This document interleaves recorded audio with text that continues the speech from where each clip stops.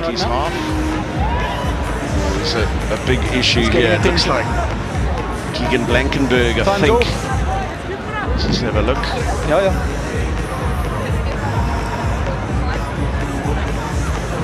He's giving the thumbs up. Wow. He's checking the possible concussion as well. Oh, no, he's just got kicked in the ball. Oh. no, I'm good, thank you. Well, you can't say it more blatantly than that. The pain goes away eventually. yeah, okay, mate, you're right. Yeah. Is that a diagnosis from no, the medical no problem, staff? Mate.